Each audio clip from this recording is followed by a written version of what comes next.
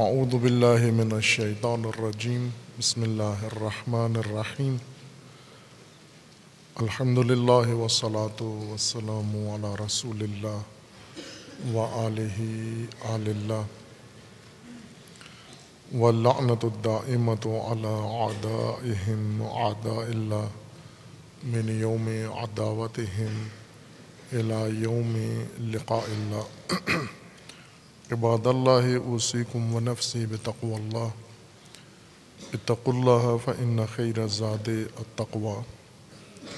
بندگان خدا آپ سب کو اور اپنے نفس کو تقوی الہی کی وصیت کرتا ہوں تقوی الہی کی نصیحت کرتا ہوں اور تقوی الہی کی جانب دعوت دیتا ہوں و تاکید کرتا ہوں کہ اپنی زندگی تقوا کے مطابق بسر کریں تقوا کے زیر سایہ بسر کریں اور تقوا کی بنیاد پر زندگی قائم کریں۔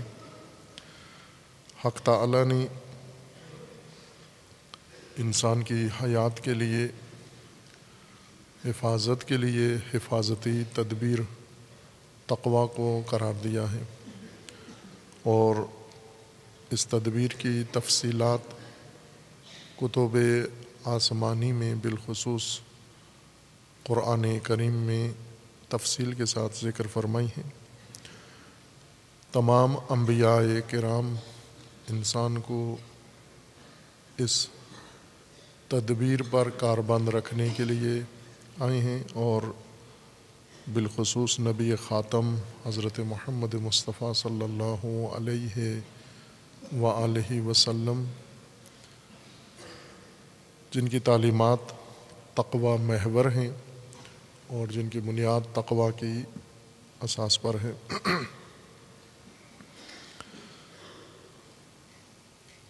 دین آئین ہے وہ منشور حیات انسانی کے لیے اور اس آئین کے اندر حیات انسانی کا تحفظ مکمل طور پر لحاظ کیا گیا ہے۔ وہ آئینی حیثیت ابھی دین کو حاصل نہیں، ہم مسلمین کی جانب سے۔ ہم نے دین کو اس طرح سے پڑھا ہے، پڑھایا ہے، تبلیغ کیا ہے، نشر و ترویج کیا ہے کہ اس دوران اس کی آئینی حیثیت ختم کر دی ہے۔ اور اس کی تعلیمی حیثیت بنا دی ہے۔ دین تعلیمی نصاب کی طرح بن گیا ہے، علوم کی شکل اختیار کر لی ہے۔ دین نے سمجھنے کے لیے تعلیمی شکل میں کوئی حرج نہیں ہے، لیکن نفاذ کے لیے اس کی آئینی شکل کی ضرورت ہے۔ تاکہ اس کے مطابق عمل کیا جا سکے۔ علوم نفاذ کے لیے نہیں ہوتے، علوم آگہی کے لیے ہوتے ہیں، روشنی کے لیے ہوتے ہیں، آئین نفاذ کے لیے ہوتے ہیں، دستور نفاذ کے لیے ہوتے ہیں۔ اس لیے علوم اور دساتیر میں فرق ہے۔ علوم اور منشورات میں فرق ہے۔ علوم اور کانسٹیٹیوشنز میں فرق ہے۔ علوم کے ہوتے ہوئے علوم سے استفادہ کرتے ہوئے اور علمی بنیادوں پر دستور بنائے جاتے ہیں، آئین بنائے جاتے ہیں اور وہ آئین قابل عمل ہوتے ہیں۔ ان کی شکل ہی عملی ہوتی ہے۔ دین قرآن کریم میں اور دس آئینی کتابوں میں، آسمانی کتابوں میں دستوری حالت میں تدوین ہوا ہے۔ لیکن مقام شناخت میں، معرفت میں اس نے علمی شکل اختیار کر لی ہے۔ اس وجہ سے نفاذ نہیں ہے، لیکن پڑھنے پڑھانے کا عمل اس کا تسلسل کے ساتھ اور کثرت کے ساتھ رائج ہے۔ اور اسی پر اکتفا کر لیتے ہیں۔ ہم اگر دین کا نصاب کچھ پڑھ لیں یا پڑھا لیں، تو ہم یہ سمجھتے ہیں کہ قرض دین ادا کر دیا ہے، وہ حق دین ادا ہو گیا ہے۔ جبکہ آئین و دستور جب تک نافذ نہ ہو جائے، لاگو نہ ہو جائے، عملی نہ ہو جائے، اس کا حق ادا نہیں ہوتا۔ آئین کو نفاذ کی خاطر ہمیں پہلے تفسیر دین میں یہ وضاحت ضروری ہے کہ دین ایک آئین ہے وہ دستور، اور خصوصاً اس کی دستوری شقیں اور دستوری حصے بیان کرنے کی ضرورت ہے، جن میں ایک اہم حصہ تقوا ہے۔ تقوا انسان کی زندگی کی حفاظتی تدبیر ہے۔ جس طرح آئین کے اندر ملکی حفاظتی تدبیر کی جاتی ہے، سوچی جاتی ہے، انتظامات کیے جاتے ہیں کہ یہ ملک و قوم کس طرح سے محفوظ رہیں گے۔ ان کو خطرات کون سے درپیش ہیں اور ان خطرات سے بچنے کے لیے کیا اقدامات لازمی ہیں اور کس طرح کا اہتمام چاہیے؟ اسی طرح مملکت و قوم کی طرح حیات بھی ہے، جو مقدم ہے مملکت و قوم پر، چونکہ مملکت بھی حیات انسانی کے بعد وجود میں آتی ہے اور قوم بھی حیات انسانی کے بعد وجود میں آتی ہے۔ اگر حیات انسانی خطرے میں پڑ جائے اور نابود ہو جائے تو نہ قوم تشکیل پاتی ہے اور نہ ہی مملکت تشکیل پاتی ہے۔ مملکت کے لیے حفاظتی تدابیر پر اصرار کیا جائے اور حیات کے حفاظتی تدابیر کو نظر انداز کیا جائے، اس سے حق ادا نہیں ہوتا۔ تقوا حفاظتی تدبیر ہے اور اس تدبیر کے منابع ہیں جہاں سے حیات انسانی میں یہ تدبیر پیدا ہوتی ہے، جنم لیتی ہے اور وجود میں آتی ہے۔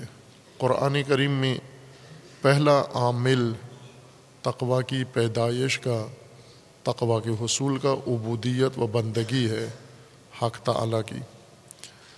اور عبودیت و بندگی سے یہ رائج معنی نہیں ہے کہ ہم منظم یا غیر منظم طریقے سے مقررہ عبادتیں انجام دیتے جائیں تو ہم عبودیت بجا لا رہے ہیں۔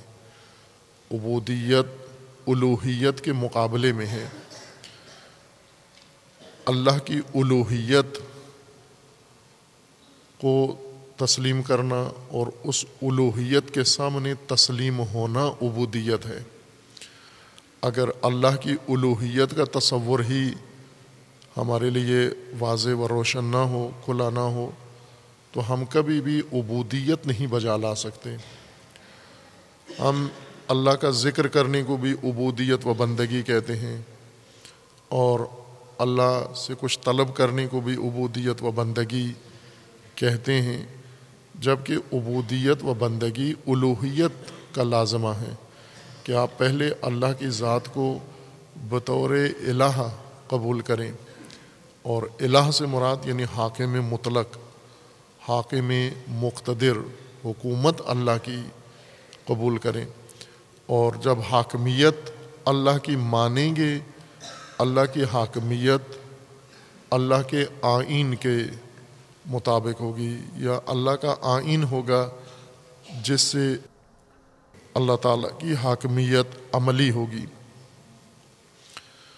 اور جب تک ہم دین کو آئینی صورت میں نہیں مانیں گے اور اللہ کو حاکم مطلق و مقتدر تسلیم نہیں کریں گے، ہم خود مقام بندگی حاصل نہیں کر سکتے۔ ہم دو ثنا بے شک کریں ہم، لیکن بندگی حاکمیت کے مقابلے میں ہے۔ حاکمیت عملی ہو تاکہ عبودیت بھی عملی ہو، اور اس مقام پر تقوا قائم ہوگا، اس مقام پر تقوا حاصل ہوگا۔ اگر حاکمیت خدا قائم نہ ہو آئین الہی نافذ نہ ہو۔ اور ویسے انسان دل سے خدا کا معتقد ہو، معترف ہو اور مومن ہو، یہ کیسے با تقوا ہو سکتا ہے؟ جس پر حاکمیت بھی اللہ کی نہ ہو اور جس کا آئین بھی الہی نہ ہو، جس کا منشور دین نہ ہو۔ اور یہ دعویٰ کرے میں باتقوا ہوں، اس لیے باتقوا ہوں کہ گھر میں بیٹھا رہتا ہوں۔ اس لیے باتقوا ہوں کہ غلط کام نہیں کرتا ہوں، چوریاں نہیں کرتا ہوں، جھوٹ نہیں بولتا ہوں، وعدہ خلافی نہیں کرتا ہوں، میں بس باتقوا ہوں، یہ دعویٰ درست نہیں ہے۔ تقوا کا پیدائش تقوا کی بندگی کے میدان میں ہوتی ہے۔ بندگی اللہ کی الوحیت سے حاصل ہوتی ہے ماننے سے، اور اللہ کی الوحیت آئین خدا اور دین خدا کے نفاذ سے محقق ہوتی ہے۔ دوسرا عامل سورہ مبارکہ بقرہ میں حق تعالیٰ نے بیان فرمایا ہے آیا ترسٹھ میں۔ دوسرا مورد و اد اخذ نہ می ساقم و رفا نفوقم متورا تین چیزیں اس آیا کریمہ میں ذکر کی گئی ہیں، یہ چار۔ اور ان کے اختتام پر نتیجے کے طور پر غایت و غرض کے عنوان سے لکھا گیا ہے، لعلکم تتقون۔ یہ سب امور اس لیے تم بجا لاؤ تاکہ تم با تقوا بن جاؤ۔ ان کا نتیجہ تقوا ہوگا۔ و اد اخذ نہ میساکم میساک و عہد ہے۔ و رفا نفوق متورا خزو ما آتی نقم بقوتن جو کچھ اللہ نے تمہیں دیا ہے، اسے قوت و مضبوطی سے لے لو تم۔ اور جو کچھ اللہ نے دیا ہے، وہ ہدایت کا نظام ہے اور آئین و منشور خدا ہے جیسے قوت سے لے لو اور اس کی قوت کے تین مرحلے ذکر کیے ہیں۔ قوت یقین، قوت ایمان اور قوت ارادی سے لے لو۔ اور تیسرا اور آخری عامل اس آئے کریمہ میں یہ ذکر فرمایا گیا ہے ود کرو معافی ہے لعلکم تتقون۔ جو کچھ اس دین کے اندر ہے، اس منشور کے اندر ہے یا کتاب کے اندر ہے اسے یاد رکھو ود کرو یاد کرو اور یاد رکھو اس کو، یاداشت میں رکھو اس کو۔ یہ تمام معارف ہمارے ذہنوں میں ہیں، ہم آشنا ہیں، ان کا ذکر کرتے سنتے ہیں۔ لیکن معنی اپنا کرتے ہیں، معنی اور طرح سے کرتے ہیں۔ اس لیے جو روح پیغام آیات ہے وہ ختم ہو جاتا ہے اور ظاہر ان کا ہم یہ گمان کرتے ہیں کہ انجام دے رہے ہیں۔ عرض کیا تھا کہ اردو میں ذکر بیان کرنے کو کہتے ہیں، کہنے کو، قول و کلام کے معنی میں ذکر کہتے ہیں کہ فلاں جگہ آپ کا ذکر ہو رہا تھا، ہم ذکر کر رہے تھے۔ یہ اردو اصطلاح ہے اور فارسی اصطلاح ہے۔ عربی میں ذکر بیان، کلام، قول کہنے گفتگو کو نہیں کہتے۔ اردو میں اس معنی میں استعمال ہوتے ہیں۔ ذکر کریں یعنی بیان کریں، کلام کریں، قول کہیں، بات کریں، گفتگو کرنا، یہ ذکر کہلاتا ہے۔ عربی زبان میں ذکر یاد کو کہتے ہیں۔ اور یاد بھی ہم چونکہ اردو لفظ ہے، اس کو حافظے کے معنی میں لیتے ہیں۔ میری یاد میں ہے یہ مطلب مجھے یاد آ گیا ہے۔ سنانے کے لیے کوئی بات انسان یاد میں رکھتا ہے۔ اردو میں حافظے کا ترجمہ بھی یاد ہی کیا جاتا ہے۔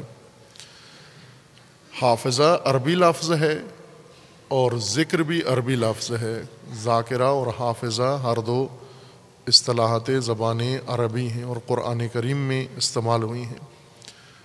انسان کے ذہنی نظام کے اندر حافظہ ایک بہت اہم حصہ ہے، جس میں انسان کی معلومات، انسان کی دریافت، ادراکات، مدرکات انسان کے محفوظ رہتے ہیں، ذخیرہ ہوتے ہیں۔ اسے حافظہ کہتے ہیں، جس کو ہم اردو میں کہتے ہیں، مجھے یاد ہے یعنی حفظ ہے۔ آپ کہتے ہیں سبق یاد کر رہے ہیں ہم۔ سبق یاد کر رہے ہیں یعنی حافظے میں اس کو بٹھا رہے ہیں۔ حافظہ مختلف عوامل کے تحت عمل کرتا ہے۔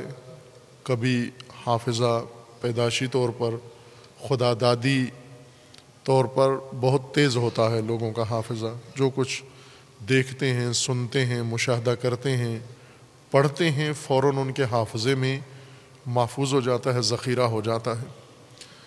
کچھ لوگ ایسے ہیں جنہیں تھوڑا سا اہتمام کرنا پڑتا ہے، ایک ہی دفعہ سننے پڑھنے سے ذہن میں بات محفوظ نہیں ہوتی حافظے میں، تکرار کرنا پڑتا ہے۔ اگر کسی چیز کو انسان بار بار تکرار کرے تو تکرار حفظ میں مدد دیتا ہے۔ جس طرح قرآن کریم حفظ کرنے والے تکرار کرتے ہیں آیات کو، پڑھتے ہیں۔ ہزاروں دفعہ ایک آیت پڑھتے ہیں، پھر ان کے ذہن کے اندر محفوظ ہو جاتی ہے۔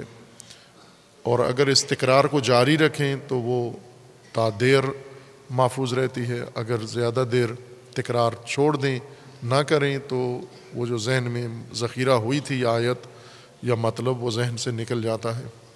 یہ سب حافظہ ہے۔ ہم حافظہ کو بھی یاد یا یاداشت کہتے ہیں۔ میری یاد میں ہے یعنی میرے ذہن میں، میرے حافظے میں ہے یہ مطلب۔ ذکر کا مطلب بھی یاداشت ہے، لیکن معنی اس کا حافظہ نہیں ہے۔ ذکر کا مطلب وہ فکر، سوچ، مطالب اور ذہنی امور ہیں جو انسان کے اندر ارادہ پیدا کرتے ہیں، جو صفائی شعور پر ہمیشہ حاضر رہتے ہیں اور ترجیح ہوتی ہے جن کی، جن کے مطابق انسان نے عملی قدم اٹھانا ہوتا ہے۔ وہ محرک فکر عربی زبان میں ذکر کہلاتی ہے۔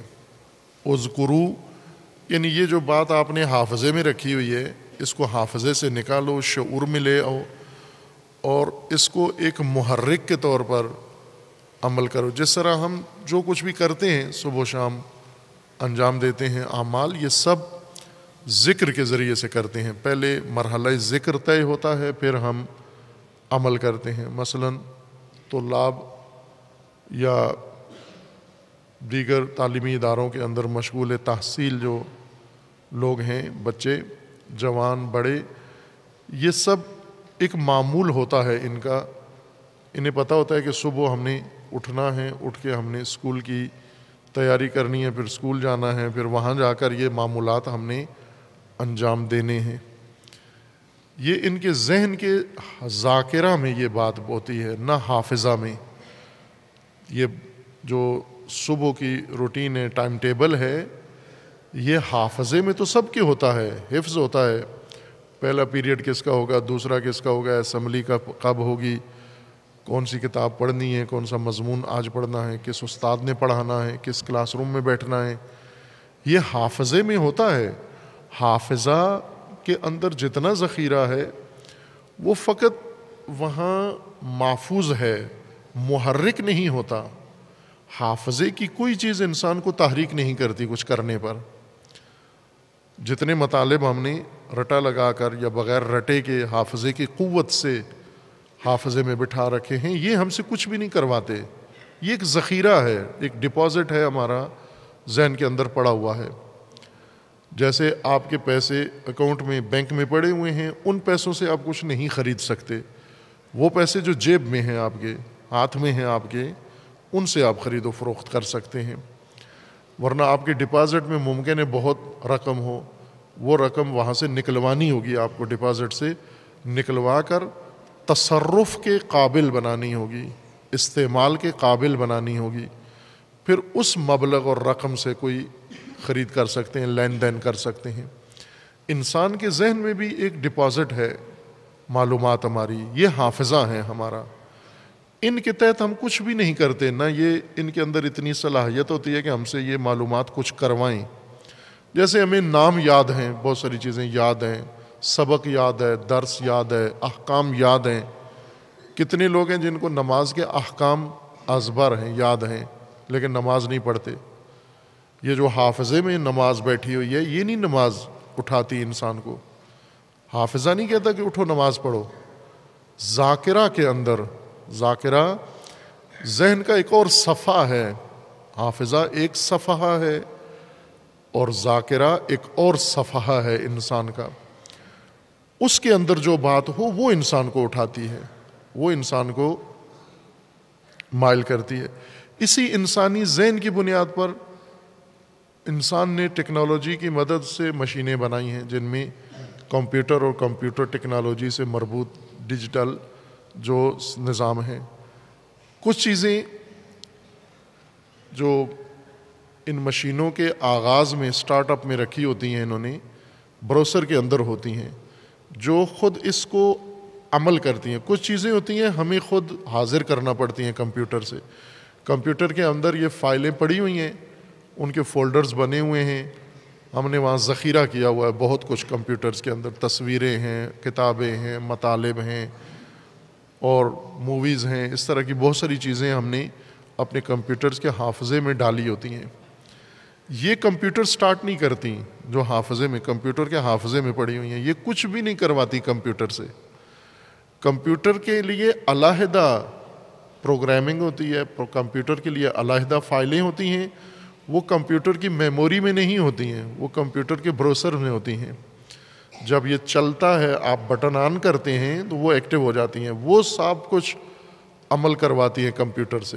اسی طرح یہ انسان کے ذہن کی بنیاد پر تشکیل دیا گیا ہے کہ انسان کے ذہن میں بھی دو طرح کی چیزیں ہیں۔ کچھ انسان کی میموری میں ہیں، حافظے میں ہیں، یہ کچھ بھی نہیں کرواتی۔ ضرورت کے وقت اگر آپ چاہیے تو آپ حافظے سے نکال کے اس کو صفحہ ذاکرہ پہ لا سکتے ہیں یاداشت میں لا سکتے ہیں اور اس سے فائدہ اٹھا سکتے ہیں۔ لیکن وہ امور جو آپ سے حرکات و سکنات انجام دلواتے ہیں، کوئی بھی آپ کام کریں، وہ کام آپ سے یہ حصہ معلومات کا یا ہے یہ حصہ فکر کا جو ذاکرہ میں ہے یاداشت میں ہے، یہ انجام دلواتا ہے۔ قرآن کریم میں انبیاء کو تعلیم ہے کہ آپ نے دین ان کے حافظے میں نہیں ڈالنا۔ ازکرو ان کے ذاکرہ میں دین رکھنا ہے۔ آئین و منشور حافظے میں نہیں ہوتا، رٹے کے لیے نہیں ہوتا۔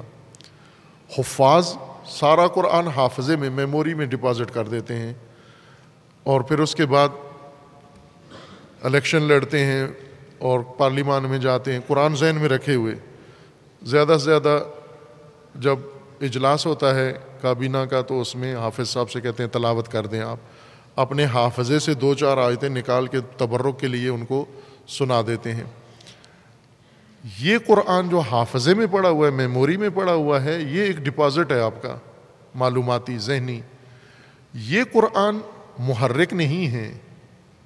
یہ قرآن آپ سے کچھ بھی نہیں کراتا، نہ حافظ سے کچھ کرواتا ہے، نہ حفظ پڑھ کرانے والوں سے، نہ حفظ سننے والوں سے کراتا ہے۔ اس لیے انبیاء کو یہ حکم نہیں دیا گیا کہ قرآن ان کے حافظوں میں ڈال دو۔ قرآن ان کے ذاکرہ میں ڈال دو۔ تذکر دو ان کو۔ ذکر کرو ان کے سامنے۔ اور لوگوں کو بھی کہا گیا کہ آپ نے اس کو ذکر میں رکھنا ہے۔ ذکر یعنی ذہن کا وہ حصہ جہاں پر محرک فکر پائی جاتی ہے۔ وہ فائلز وہ معلومات جو آپ کے کسی نہ کسی عمل کو آپ کے لیے ممکن بنائیں گی، وہاں پر رکھنا ہے اس دین کو۔ ابھی موجودہ صورت میں تعلیم و تبلیغ کے نتیجے میں، چونکہ اکثریت تو دین کی طرف راغب نہیں ہے یہ جو بائی برتھ مسلمان ہیں، اکثر جوان نسل ہو یا پرانی نسل ہو یا کوہنا نسل ہو، دین کا صرف نام سنا ہوا ہے۔ یہاں ایک شخص آیا ملازمت کے لیے حوضے میں چند سال پہلے، اور اسے لے آئے میرے پاس کہ یہ آیا ہے ملازمت کے لیے، کہتا ہے مجھے یہاں کوئی کام دے دیں۔ تو میں نے اسے پوچھا کہ کام کیا جانتے ہو؟ تو وہ کہنے لگا جو کام دے دیں کر دوں گا۔ تو ویسے میں نے اس سے ایک کھانا پوری کے تحت پوچھا کہ آپ نماز پڑھتے ہو؟ کہا ہاں پڑھتا ہوں۔ تو اسے کہا سنو نماز۔ تو کہا، ابھی ذہن میں نہیں ہے، لیکن پڑھتا ہوں میں۔ اور پھر اسی طرح چند چیزیں پوچھی ان میں سے ایک بہت ہی تعجب والی چیز جو شاید موت تک اس کا تعجب میرے ذہن سے ختم نہیں ہوگا۔ پاکستان کا ایک تقریباً بتیس، پینتیس سالہ جوان، وہ، اس سے میں نے پوچھا کہ حضرت محمد کون تھے؟ تو کہنے لگا، نام سنا ہوا ہے، تھوڑا سا آشنا لگتا ہے مجھے۔ پہلے بھی سنا ہے یہ نام میں نے کہیں پر۔ میں نے کہا، مسلمان ہو؟ کہا ہاں مسلمان ہوں، شیعہ ہوں، باقاعدہ اسنا شری شیعہ ہوں۔ حضرت محمد کا نام سنا سنایا لگتا ہے تھوڑا سا۔ یہ ہماری دینی تبلیغ ہے، یہ ہماری دینی ترویج ہے، یہ ہم دین آموزی ہے عوامی سطح پر کہ کچھ نام ہمیں سنے سنائے لگتے ہیں، مانوس لگتے ہیں نام۔ دین سارا ہم نے حافظوں میں ڈال دیا ہے، اللہ کا دین۔ اور وہ دین جو ہم سے روز کے اعمال انجام دلواتا ہے، یہ آبائی دین ہے۔ آبائی دین ہمارے ذاکرہ میں ہے الہی دین ہمارے حافظہ میں ہے۔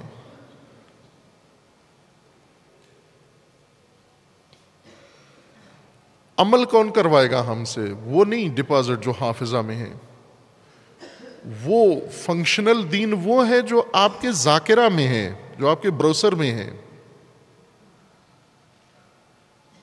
جس نے خودکار طریقے سے آپ سے عمل کروانے ہیں۔ ہم تہذیب پر عمل کرتے ہیں آٹومیٹک طور پر عمل کرتے ہیں۔ آپ جب گفتگو کرتے ہیں، اپنی مادری زبان میں، علاقائی زبان میں بولتے ہیں۔ کیوں بولتے ہیں؟ حافظے کی مدد سے نہیں بولتے۔ یہ ذاکرہ میں بیٹھی ہوئی ہے یہ زبان آپ کے۔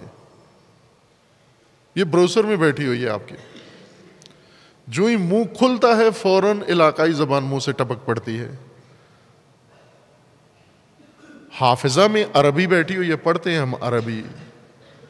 حافظہ سے نکلتی نہیں ہے۔ عربی پڑھ پڑھ کے بھی عربی نہیں بول پاتے۔ فارسی پڑھ پڑھ کے فارسی نہیں بول سکتے۔ انگلش پڑھ پڑھ کے بھی انگلش نہیں بول سکتے۔ کیونکہ یہ زبانیں حافظہ میں بیٹھی ہوئی ہیں۔ انسان گفتگو اس زبان میں کرتا ہے جو اس کے ذاکرہ میں ہے، نہ حافظہ میں ہے۔ ہمارے حافظہ میں بہت کچھ ہے۔ بھرا ہوا ہے حافظہ۔ اگر کسی دن اس میں صفائی کا عمل انجام دیں اور وہاں دیکھیں کیا کیا کچھ پڑا ہوا ہے، بچپن سے ابھی تک ڈھیر لگے ہوئے ہیں مختلف قسم کے معلومات کے، مختلف قسم کی اطلاعات، مختلف قسم کے باتوں سے۔ اچھی باتیں، غلط باتیں، نامناسب باتیں، ہر طرح کی چیزیں ڈھیر لگا ہوا ہے۔ کبھی کبھار ہم سنتے ہیں تو احساس ہوتا ہے کہ یہ میرے ذہن میں، میرے حافظے میں تو پہلے سے ہے یہ بات، یہ میں نے پہلے بھی سنی ہوئی ہے یعنی حافظے میں ہے۔ حاصل مطلب یہ کہ ہم جو کچھ کرتے ہیں، ذہن کی مدد سے کرتے ہیں۔ ذہن سے یہ عمل کا آغاز ہوتا ہے۔ لیکن ذہن کے اس حصے میں جس کو عربی زبان میں ذاکرہ کہتے ہیں۔ ذکر وہاں پڑی ہوئی فکر کا نام ہے۔ یعنی آپ کے صفحہ میں صفحے ذہن کے شعور میں، اس حصے میں جو فکر بیٹھی ہوئی ہے، جس نے آپ سے کچھ کروانا ہے۔ جیسا مثال دی کہ ہم تہذیب و رسم و رواج پر عمل کرتے ہیں۔ نہ پڑھنے کی ضرورت ہے، نہ سیکھنے کی ضرورت ہے۔ جیسے علاقائی زبان کی مثال دی، مادری زبان کی مثال دی، ہمارے منہ سے بغیر سوچے سمجھے، بغیر تفکر کے نکل جاتی ہے یہ زبان۔ چونکہ یہ زبان ذہن کے اس حصے میں بیٹھی ہوئی ہے جہاں سے ہمیں عمل کروانا ہوتا ہے، بولنے کا دستور وہاں سے آتا ہے۔ اللہ کا یہ فرمانا ہے کہ یہاں بٹھاؤ، دین کو یہاں پہ رکھو، ذاکرہ میں رکھو۔ دین یہاں ہونا چاہیے، انسان کے اس یاداشت میں ہونا چاہیے۔ ہم عموماً کہتے ہیں یاد کرو اس وقت کو، یاد کرو یعنی رٹا لگا لو اس کو۔ یاد کو بھی مانا اردو والا کرتے ہیں۔ اکثر آیات شروع ہوتی ہیں از کرو ود کرو مد نظر رکھو، حاضر رکھو۔ وہ حاضر معلومات جو آپ کو روکیں یا آپ سے کچھ کروائیں۔ تقوا حافظے سے نہیں پیدا ہوتا۔ ہم خود تقوا کی کتنی آیات و روایات حفظ ہوتی ہیں، عموماً جو خطیب تقریریں کرتے ہیں، یہ سارے مضامین حفظ کرتے ہیں، رٹا لگایا ہوتا ہے انہوں نے۔ اور فر فر پڑھتے ہیں ممبروں کے اوپر، دوسروں کے لیے۔ اور اس ساری پڑھائی کا اسی جگہ پہلے سے طے شدہ ہوتا ہے، پیسہ اور ممبر سے اترتے ہی باقاعدہ ایگریمنٹ کے مطابق وہ سارا پیسہ وصول کر لیتے ہیں اور اسنا گفتگو میں انہوں نے ساری تقوا پر گفتگو کی ہے۔ محرک اس تقوا کی گفتگو کا دنیا تھی، پیسہ۔ فیس دیے تو آیا ہے پڑھنے کے لیے، اگر فیس نہ دیں تو اس کے پاس وقت ہی نہیں ہے، مصروف ہے، نہیں آئے گا۔ اترتے ہی اس کی پہلی نگاہ فیس پر ہے اور اس دوران اس نے ساری گفتگو تقوا پر کی ہے۔ یہ تقوا حافظہ کی مدد سے اس نے پیش کیا ہے۔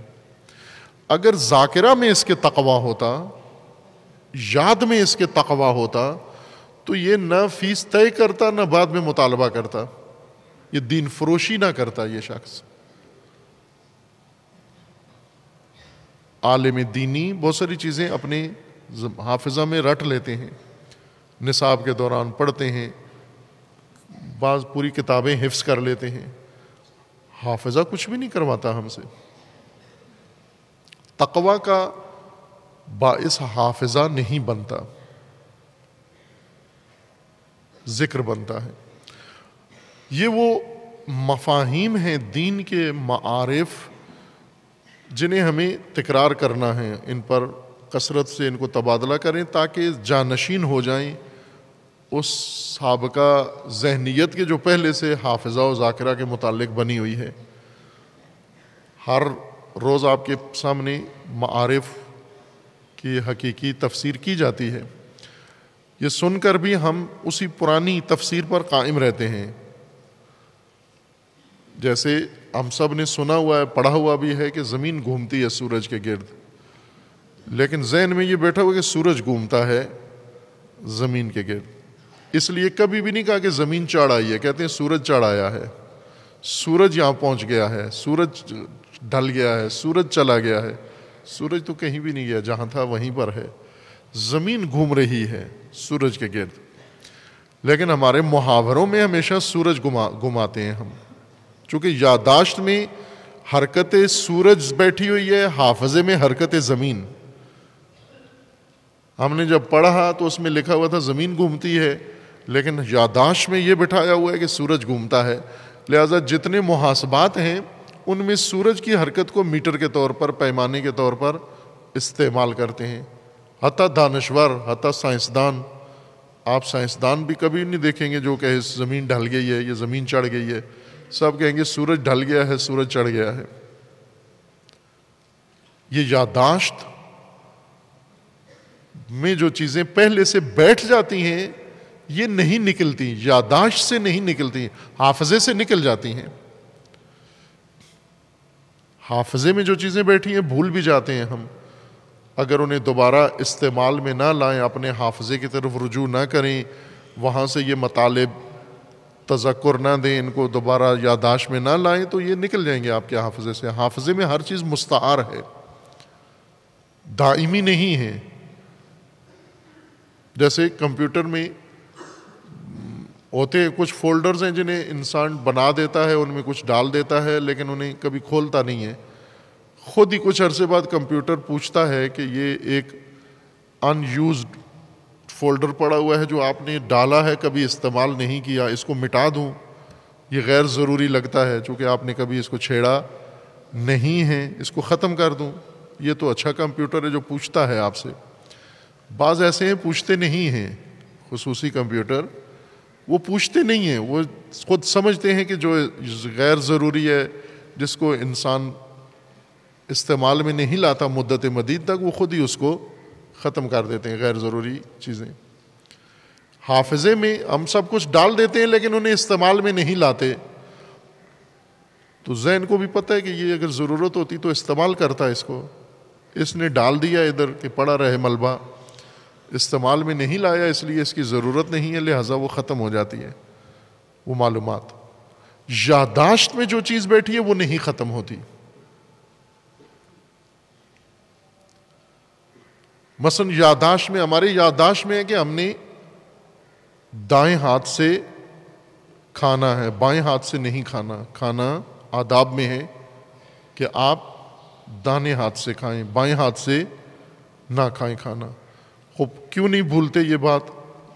اس لیے کہ شروع میں جب سکھائی گئی تھی، پہلے انسان شروع بائیں ہاتھ سے کرتا ہے، سارے کام بچے ہر کام بائیں ہاتھ سے کرتے ہیں۔ جوتے پہلے الٹا پہننا شروع کرنے، سیدھے جوتے بھی ہوں، بچہ الٹے ہی پہنے گا وہ، بدل کے پہنے گا۔ پھر اسے بتایا جاتا ہے، ٹوکا جاتا ہے، روکا جاتا ہے، ڈانٹا جاتا ہے۔ بلکہ دو چار دفعہ شاید اس کو مرمت بھی ہوتی ہے، پھر جا کے سیکھتا ہے کہ میں نے بائیں ہاتھ سے نہیں کھانا، دائیں ہاتھ سے کھانا ہے۔ بعض لوگ ہوتے ہیں نا، بائیں ہاتھ میں ان کے زیادہ توانائی ہوتی ہے۔ لکھتے بائیں ہاتھ سے ہیں، کوئی چیز اٹھانی ہو بائیں ہاتھ سے، وہ دائیں ہاتھ والا سارا کام بائیں ہاتھ میں طاقت ہوتی ہے، ایک قدرتی طور پر ہوتی ہے، نہ کہ بد عادت ہونے کی وجہ سے۔ ان کے لیے بہت مشکل ہوتا ہے دائیں ہاتھ سے کچھ کرنا۔ چونکہ ان کے دائیں ہاتھ میں اتنی طاقت ہوتی نہیں ہے جتنی بائیں ہاتھ میں ہے لیکن انہیں بھی جب آداب سکھاتے ہیں ماں باپ تو وہ بائیں بازو والے کو دائیں بازو کا بنا دیتے ہیں، یہ دائیں ہاتھ سے سیکھ لیتا ہے کچھ نہ کچھ۔ جب نظر، مراقبت کی جائے، اس کے اوپر نظارت کی جائے، اسے بتایا جائے، روکا جائے، ٹوکا جائے۔ یہ کام کرنے سے ہو جاتا ہے۔ ایک دفعہ یہ چیز ہماری یادداشت میں آ گئی ہے کہ ہمیں دائیں ہاتھ سے کھانا ہے یا لکھنا ہے، عمر بھر کے لیے حافظے میں جو بھی بیٹھا ہو، اب ہم لکھیں گے ہمیشہ دائیں ہاتھ سے یا کھائیں گے دائیں ہاتھ سے۔ یہ چیزیں یادداشت میں ہیں۔ بس کھانے کے آداب ہیں، کچھ لوگ ہیں جن کے جو عادتیں بن چکی ہیں، یہ ان کی یادداشت میں ہیں عادتیں۔ حافظے سے نہیں ہیں، یادداشت میں بیٹھی ہوئی ہیں اور ان کے مطابق ہمیشہ عمل کرتے ہیں۔ جن کے یادداشت میں ہے کہ کھانے سے پہلے بسم اللہ پڑھنی ہے، جن کی یادداشت میں ہے نہ حافظے میں حافظے میں سب کے ہے کہ بسم اللہ پڑھ کے کھانا ہے۔ لیکن کبھی زندگی بھر میں اتفاق نہیں ہوا کہ کھانے سے پہلے اس نے بسم اللہ بھی پڑھ لی ہو۔ جن کی یاداشت میں ہے، اگر انہیں باتوں میں بھی لگایا جائے، وہ جو ہی ہاتھ بڑھتا ہے لکمے کی طرف، بسم اللہ منہ سے نکل جاتی ہے۔ عام لوگ ہوتے ہیں، عوام الناس۔ ان میں سے کچھ ایسے ہیں جن کی زبان پر یہ بسم اللہ حاضر ہے، ہمیشہ نو کے زبان پر ہے۔ کسی کو ٹکر لگی ہے، بے ساختہ اس کے منہ سے لگے گا بسم اللہ۔ اگر کوئی مہمان آ گیا ہے تو کہے گا بسم اللہ۔ کوئی اگر اس کو پیشکش کریں، کہے گا بسم اللہ۔ آپ اس سے کوئی مطالبہ کریں، کہے گا بسم اللہ۔ اس کی یاداشت میں بسم اللہ بیٹھا ہوا ہے۔ بائی ڈیفالٹ ہو گیا ہے یہ بسم اللہ اس کے لیے۔ لیکن جنہیں پڑھایا گیا ہے، سکھایا گیا ہے اور بسم اللہ ادب ان کے حافظے میں ڈال دیا گیا ہے۔ آداب پڑھائے جاتے ہیں اور وہ آداب لکھ لیے جاتے ہیں اور وہ آداب حافظے میں حفظ امتحانوں کے لیے حافظے میں ڈال دیتے ہیں۔ یہ ایک دن بھی بھول کے بھی بسم اللہ نہیں پڑھا اس نے۔ حافظے سے تو بسم اللہ نہیں نکلتی یاداشت سے آتی ہے باہر۔ زبان پہ وہ چیز آئے گی جو آپ کی یاداشت میں ہے، ذاکرہ میں ہے، نہ وہ چیز جو آپ کے حافظہ میں ہے۔ حافظہ سے اگر ہم لانا بھی چاہیں منہ پر، زبان پر، تو پہلے اس کو یاداشت میں لانا پڑے گا۔ حافظہ سے نکال کے یاداشت میں لائیں گے یاداشت سے پھر زبان پہ جاری ہوگی یہ بات۔ اسی طرح یہ معمولی کام روزمرہ کے جو ہم سے سرزد ہوتے ہیں، یہ سب نتیجہ ہیں ذکر کا۔ یعنی یہ ساری چیزیں ہمارے ذکر میں ہیں، ہماری یاد میں ہیں، ہماری یاداشت میں ہیں۔ اور جو کام ہم جانتے ہیں، پڑھے ہوئے ہیں اور نہیں کرتے، یہ وہ امور ہیں جو ہماری یاداشت میں نہیں ہے ذکر میں نہیں ہے اب دین کو اللہ کا فرمانے کہ ود کرو معافی ہے دین کے اندر، اس نظام کے اندر، منشور کے اندر جو کچھ ہے۔ ود کرو اس کو یاداشت میں لے ہوا لا اللہ کم تتقون۔ خوب پھر دیکھو کس طرح تقوا پیدا ہوتا ہے۔ اگر دین تمہاری یادوں میں آ جائے، اگر اللہ کے فرامین تمہاری یاداشت میں آ جائے، نہ تمہارے حافظوں میں آ جائے۔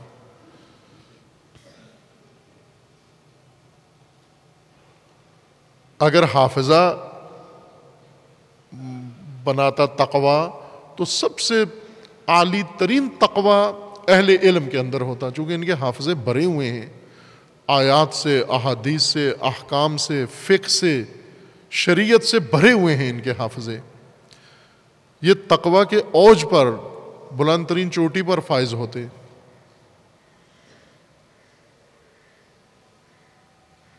بعض اوقات دیکھتے ہیں ہم کسی تعلیم یافتہ، اہل علم سے زیادہ عوام الناس میں تقوا نظر آتا ہے۔ تعجب بھی ہوتا ہے کہ یہ عام آدمی ہے، اس نے دین نہیں پڑھا، نہ دین کا طالب علم رہا ہے، نہ دین کا عالم ہے، نہ اتنا اس کا کثرت سے مطالعہ ہے۔ لیکن اس کے باوجود عمل میں یہ باتقوا ہے۔ فرق یہ ہے کہ جس نے پڑھا ہے، اس نے سارا دین حافظے میں رکھا ہوا ہے اور اس نے جو کچھ سنا ہے، یاد میں رکھا ہوا ہے۔ اس لیے اس کی یاداشت اس سے عمل کروا رہی ہے۔ ہمیں معلوم ہے حرام چیزیں کون کون سی ہیں۔ جن کا ہمیں علم ہے، جو ہمارے حافظے میں ہیں، جو محرمات، ان میں سے کتنے محرمات سے ہم بچتے ہیں۔ حافظے میں جو محرمات ہیں، وہ نہیں بچاتے۔ پتہ ہے، حرام ہے، پھر بھی کرتا ہے انسان۔ غیبت حرام ہے۔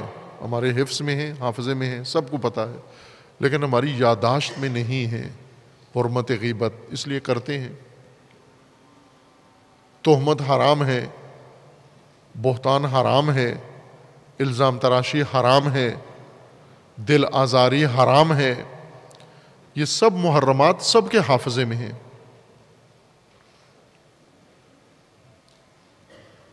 عملی نہیں ہوتی تقوا نہیں آ سکتا۔ اس موضوع میں دقت کی ضرورت ہے۔ اس فرق کو سمجھنے کے لیے ذکر، حفظ کا فرق آپس میں سمجھنے کے لیے۔ ذکر کو دو چیزوں سے آپ نے علیحدہ کرنا ہے۔ وہ دو چیزیں جو پہلے سے ہمارے ذہنوں میں پیدائشی طور پر بیٹھی ہوئی ہیں۔ وہ یہ کہ ایک ذکر کہنے کو ہم ترجمہ کرتے ہیں، ذکر ذکر کرو، ذکر ہو رہا تھا، ذکر چھیڑ دیا۔ اس کو ذکر کہتے ہیں۔ اور دوسرا حفظ کو ذکر کہتے ہیں ہم۔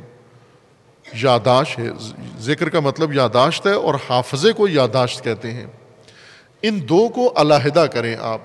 کلام اور بیان ذکر نہیں ہے حافظہ بھی یاداشت نہیں ہے ذکر یاداشت ہے۔ حافظے کا ترجمہ اردو میں کوئی اور ہونا چاہیے تھا۔ سب کو یاداشت ہی کہتے ہیں۔ اردو والوں نے ڈکشنری میں حافظے کا مطلب یاداشت ہی رکھا ہے، لیکن یاد اور یاداشت بعض اوقات یہ شاعری کے اندر، آپ کہتے بھی ہیں نا، ہمیں یاد ہے۔ ابھی آپ نے نعرہ لگایا کہ ہمیں یاد ہے، مثلا شہید کا نعرہ یاد ہے۔ یاد ہے سے مراد نہ کہ ہمارے حافظے میں ہے۔ یاد ہے کا مطلب یعنی ہمارے اس ایکسپلورر میں ہے اور جو ہی ہم منہ کھولتے ہیں تو یہ شہید سے جو سیکھا ہے وہ اس میں رکھا ہوا ہے، فوراً ہمارے ذہن میں آ جاتا ہے۔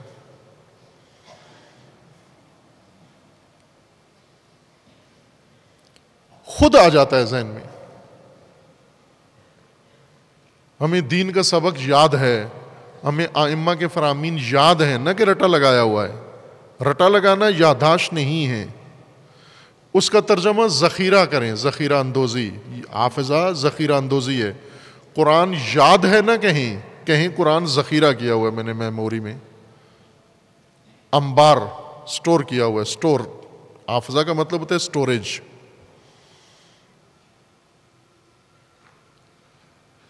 تفقیق کریں گے، علیحدہ کریں گے ان مفاہیم کو، پھر ہمارے لیے وضاحت ہوگی۔ بارہا یہ عرض ہوا ہے تو لاب کے لیے بھی اور دیگر طبقات کے لیے۔ دین کے مطالب، معارف، معالم کے لیے استدلال کی ضرورت نہیں ہے۔ تبیین کی ضرورت ہے۔ دین کو تبیین چاہیے، نہ استدلال۔ ہمارا زیادہ زور استدلال پر ہوتا ہے۔ ابھی آتے ہیں، مثلا کارگائی جوان آتے ہیں تو طلاب جو روش خود پڑھتے ہیں، وہی ان کے اوپر بھی آزماتے ہیں۔ مثلا انہیں مومن طالب علم آیا ہے، پڑھنے کے لیے ایک جوان آیا ہے کہ میں دین کی معرفت حاصل کروں اور یہاں پر اس کو شروع کرا دیتے ہیں۔ سب سے پہلے اس کو اس بات وجود خدا کے دلائل فرض کرو کہ اللہ نہیں ہے نوزب باللہ، کیسے ثابت کرو گے اللہ ہے؟ ایک ایسا شخص جس کا ایمان کامل ہے اللہ کی ذات پر، وہ مانتا ہے اللہ کی ذات کو، وہ بندہ خدا ہے، عبد خدا ہے اور خدا کا قرب حاصل کر رہا ہے، خدا کے مخلص بندوں میں سے ہے۔ اس کے ذہن میں تردید و شک و شبہ نہیں ہے، لیکن معلم اس کو کہتا ہے نہیں، فرض پہلے کرنا پڑے گا کہ نہیں ہے۔ پھر میں ثابت کروں گا کہ ہے۔ وہ اسے فرض کروا لیتا ہے، نہیں ہے۔ جب ثابت کرنے کا وقت آتا ہے، اس سے ثابت نہیں ہوتا۔ یہ نہ کریں یہ کام۔ اس طرح دین نہ سکھائیں۔ یہ غیر مسلم کو دین سکھانے کا طریقہ ہے، جو نہیں مانتا اللہ کو، اس کے سامنے استدلال کریں۔ ایک مومن کو کیوں یہاں سے شروع کرتے ہو؟ اس وجہ سے شروع کرتے ہیں کہ دینی نصاب علم کلام یہاں سے شروع ہوتا ہے، عقائد کی کتاب یہاں سے شروع ہوتی ہے۔ پہلے نفی کر کے، فرض عدم کر کے، پھر اپنی علمی طاقت سے شروع کرتے ہیں اور ایک دفعہ تردید ڈال کے پھر ثابت نہیں کر سکتے۔ چونکہ قوت استدلال نہیں ہوتی، وزن نہیں ہوتا بات کے اندر عقلانیت نہیں ہوتی، معقولیت نہیں ہوتی، اس کو حق الیقین نہیں بنا سکتے۔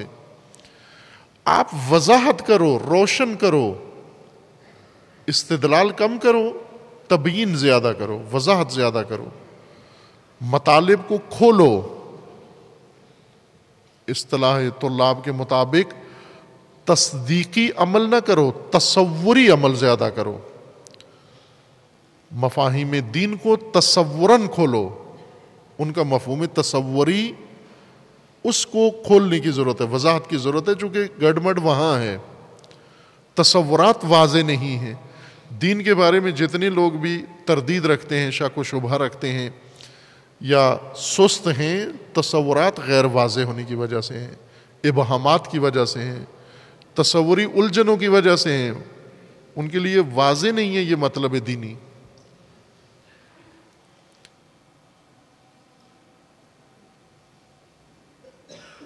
تقوا کیسے آئے گا؟ لعلکم تتقون، تاکہ تم تقوا با تقوا بن جاؤ۔ ود کرو معافی ہے جو کچھ دین میں ہے، اسے یاداشت میں رکھو۔ حاضر صفحے میں رکھو جو آپ سے روزمرہ کا عمل انجام دلوائے، جس طرح آبائی طریقے آپ کی یاداشت میں ہیں۔ کچھ نام ہے آپ کی یاداشت میں ہیں، کچھ نام آپ کے حافظے میں ہیں۔ مثلا آپ کے ماں باپ کے نام آپ کی یاداشت میں ہیں، بہن بھائیوں کے نام آپ کی یاداشت میں ہیں۔ عزیز رشتہ داروں کے نام آپ کی یاداشت میں ہیں، دوست احباب کے نام آپ کی یاداشت میں ہیں۔ یہ یاد میں یہ ذکر میں ذاکرہ میں ہیں۔ لیکن کچھ نام آپ کے حافظہ میں ہیں۔ حافظہ والے بندہ سامنے آ جاتا ہے، پھر بھی نہیں ذہن میں آتا کہ نام کیا ہے اس کا۔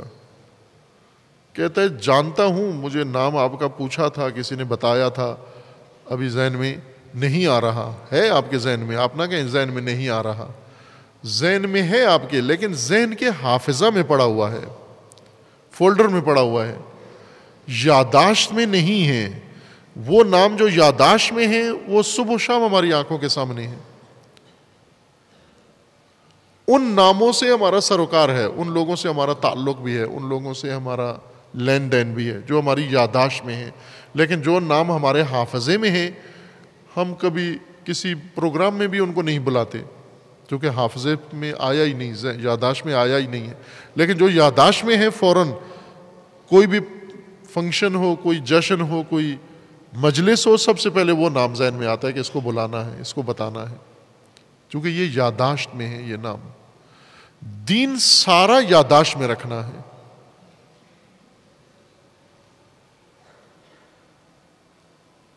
دن سارا آپ کے ایکسپلورر میں ہونا چاہیے۔ میموری میں نہیں رکھنا۔ اس گرو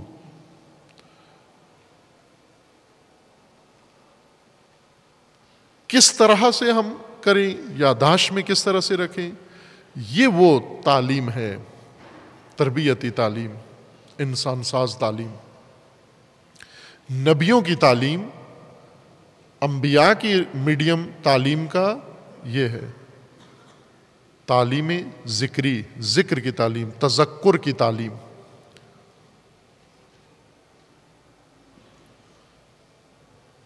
فذکر ہوں اے نبی، ان کو یاد دلاؤ، ان کی یاداشت میں سب کچھ لے آؤ۔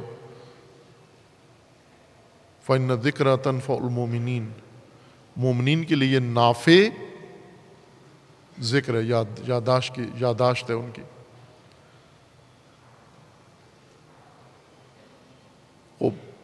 بس ایک آپ نے میساک دین کے متعلق میساک اللہ کے ساتھ عہد باندھ کے اس کو میساک بنانا ہے۔ عہد نہ شکن تاکہ با تقوا ہو جائیں۔ دوسرا، دین کو مضبوطی سے دینا ہے۔ یہ مضبوطی و استحکام تین مراحل میں ہے قوت یقین، قوت ایمان اور قوت ارادہ سے لینا ہے۔ اور تیسرا عنصر اس آئے کریمہ میں ہے کہ ود کرو یہ سب کچھ اپنی یاداشت میں رکھنا ہے۔ پھر آپ اللہ کی بنائی ہوئی حفاظتی تدبیر کو اپنا سکتے ہو۔ لیکن اگر تقوا کتابوں میں ہے تقوا درسوں میں ہے تقوا لائبریریوں میں ہے تقوا آپ کے حافظے میں ہے تقوا حدیثوں میں ہے تقوا آیات میں ہے، اور آپ کی یاداشت میں نہیں، با تقوا نہیں ہو سکتے۔ اس سے تقوا حاصل نہیں ہوگا۔ انشاءاللہ خدا و تبارک و تعالی ہم سب کو وہ تمام مومنین کو و مسلمین کو خدا و تبارک و تعالیٰ توفیق تقوا عنایت فرمائے انشاءاللہ۔ اللہ